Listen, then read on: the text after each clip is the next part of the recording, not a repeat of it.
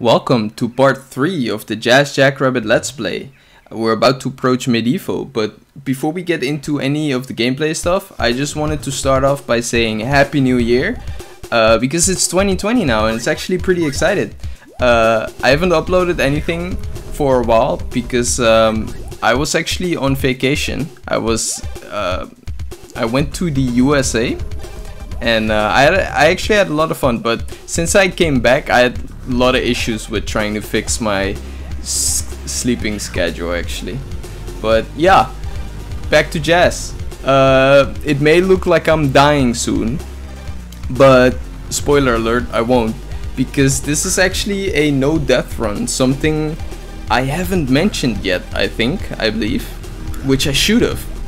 But yeah, this is actually gonna be a no death run of uh, the entire game, which is actually pretty hard to do, but you know, we'll be fine. And um, here you can see I'm trying to grab that shield, but the thing is, uh, I kind of forgot how to get that shield at this time, and then I suddenly remembered like, wait a second, um, I have to go all the way around.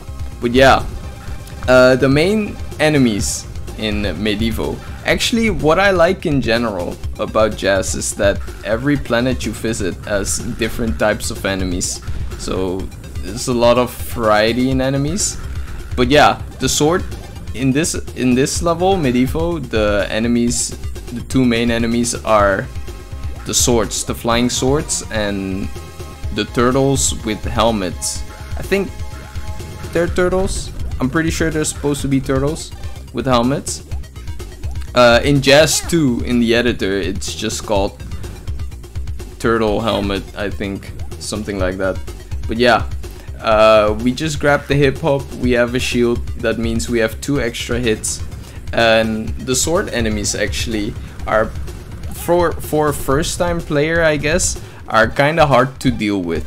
Because um, Jazz, Jazz 1 suffers from screen crunch actually. Um, it's because Jazz Jazz One's resolution is um, I believe it's 320 by 200, which is actually pretty small.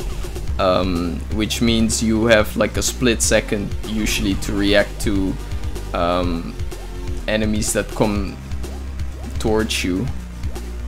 And as you may have noticed, as when we're like at top speed, when we just run, Jazz is always in the center of the screen. So, you know, like I said, you have like little to no time to react to stuff. But my solution actually for that is to just keep shooting actually just hold down the shoot button it's actually okay because as you can see if you look at the ammo count we have like 400 toaster ammo we had a lot more for the bouncer and such. Like you have more than enough to just hold down the shoot but the shoot button and just kill everything and just not have to worry about the ammo. But yeah, we're on our first hoverboard section actually. I love the hoverboard in Jazz. Um, it's just I've always liked hoverboards in general. I just think it's cool and especially Jazz riding it. It's like Jazz is cool. the hoverboard is cool. Something I like about this hoverboard, um, which is actually a coincidence, but it's a funny coincidence in my opinion. Uh, as you can see, the stripes on it are green, yellow, and red, which, if you've played the second Jazz game, you know um, is like Jazz Spaz and Lori, but Jazz Spaz and Lori weren't even a thing at this point, so I mean, Spaz and Lori weren't even a thing. Jazz is clearly a thing. Uh, another thing actually is that, as you can see, we've reached the end with the hoverboard, which is actually not supposed to happen. Uh, at some point, we were supposed to abandon the hoverboard. In earlier versions of this game, this that still works, but in this version, the CD version I'm playing, it's 1.3. Um, it it's broken. So you can take the hoverboard to the end. Uh, or you can take the hoverboard in areas where you're not supposed to take the hoverboard in general. It's it happens in some other levels as well because spoilers the hoverboard returns in multiple levels. It's actually pretty fun. Um, but yeah. Uh, it's broken in this version. And I'm not gonna complain about it because I like the hoverboard. I think it's cool. So I don't mind. But yeah uh, we have a lot of ammunition right now for like the RF missiles and the toaster and the bouncer. Um, something I feel like I wasn't completely clear about is that ammunition does not count towards your items item completion when you're like at the result screen.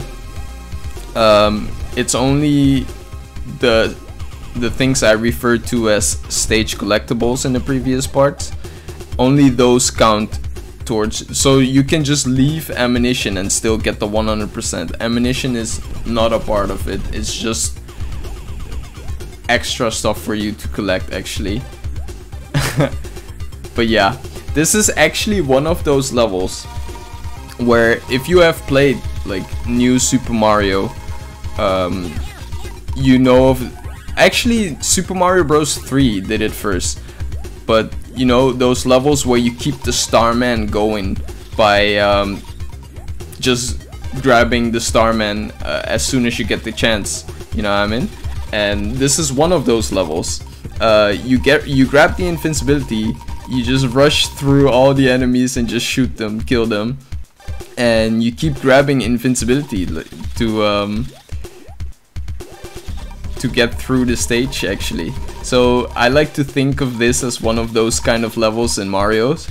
Um, Mario, not Mario's, where you just keep the invincibility going by grabbing them, getting to the next one as fast as you can and just continuing the killing spree I guess.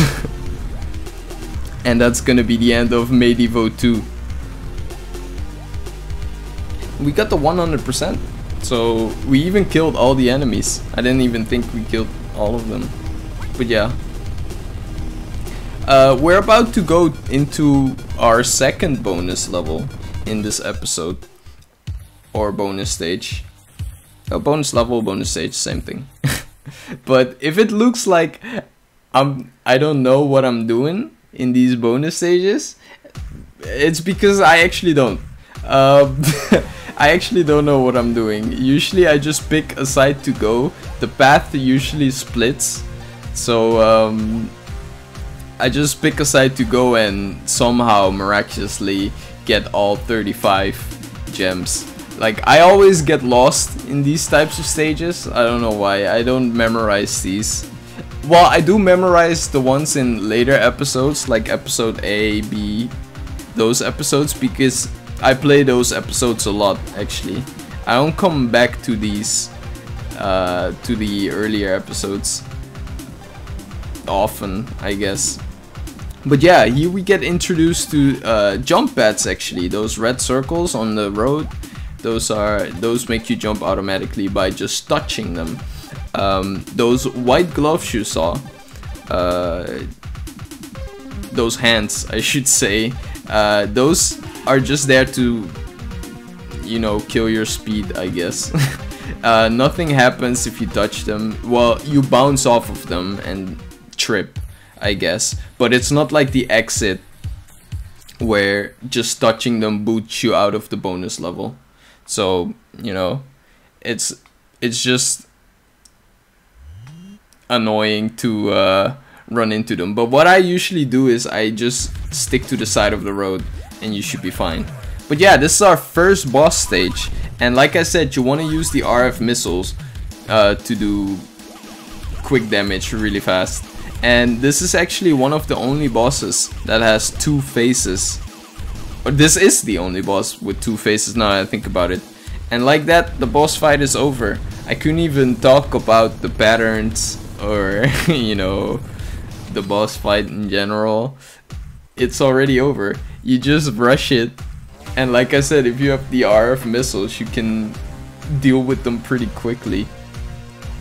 Um, so yeah, all the other bosses will go will end quickly as well. I think there's only one boss in this run where I'm like, um, where it takes longer than 10 seconds to beat, I guess. But yeah, as you can see, we didn't break any records. Uh, it's pretty hard to break my own score. I tried, it's not working out. But yeah, that was Turtle Terror, and it's actually a pretty fun episode.